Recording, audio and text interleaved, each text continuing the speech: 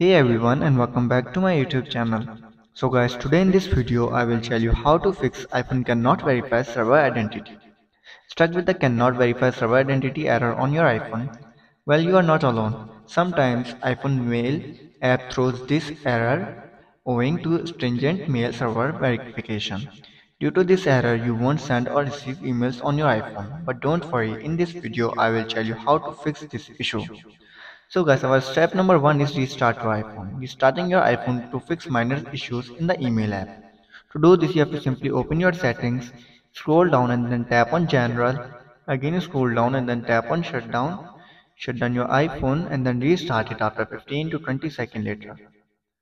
After restarting, then our step number 2 is check for iOS update. Ensure that your iPhone is running the latest version of iOS. You have to open your software update and check if there is any available update for your iPhone. If there is, then simply update your iPhone to the latest version of iOS.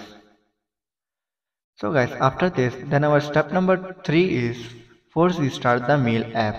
There is a good chance there is a good chance that in app's error could be causing this error. In such cases, force restart could do wonders. If the mail app is open on your iPhone, close it and restart uh, and restart it. To do this you have to simply first of all open the app and then close it and try reopening it again.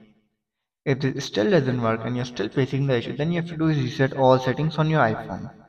To do this you have to simply open your settings, scroll down and then tap on general, again scroll down and then tap on transfer reset iPhone and tap on reset, tap on reset all settings enter your passcode and fix your issue. So guys, these were some simple steps that how to fix iPhone cannot verify server identity. If this video helps you then make sure to like and subscribe my YouTube channel for upcoming videos and thanks for watching.